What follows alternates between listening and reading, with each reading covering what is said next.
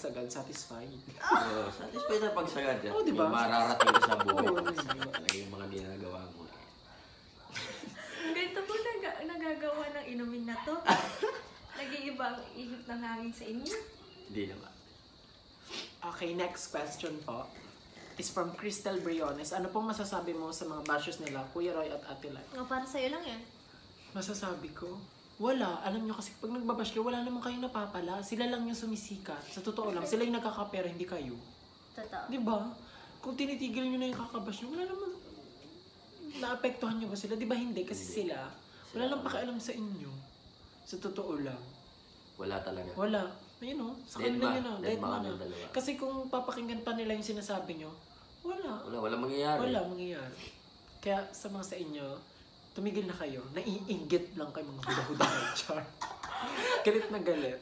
So wala, hindi naman po ako galit sa inyo dahil hindi ko naman po kayo kilala lahat. Ayoko po kayo i-judge, baka sabihin judgmental po ako. Pero totoo, judgmental po ako. So ayun, tumigil na lang po kayo dahil wala mangyayari. Wala talaga Wala mangyayari. inyo. mangyayari.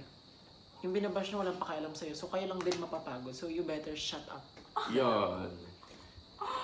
Okay guys, so this is the end of the video. Yeah. I hope you like the video and sobrang saya ko dahil nandito sila sa aking special birthday. Ba't pa ito Happy nagtatakip? birthday! Sobrang saya ko po dahil nandito po sila sa aking birthday.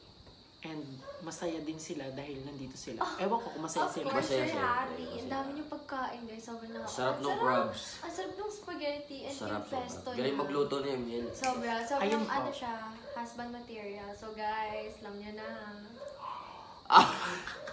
Ghost. So thank you guys for watching. I hope you like this video. If you like the video, kindly click the like button. Comment kayo sa baba, sa comment box kung anong video ang gusto niyo pagawa sa akin.